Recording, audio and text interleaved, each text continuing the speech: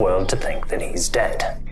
पूरा देश जानता है असली कहानी क्या है। नेताजी ज़िंदा हैं। बस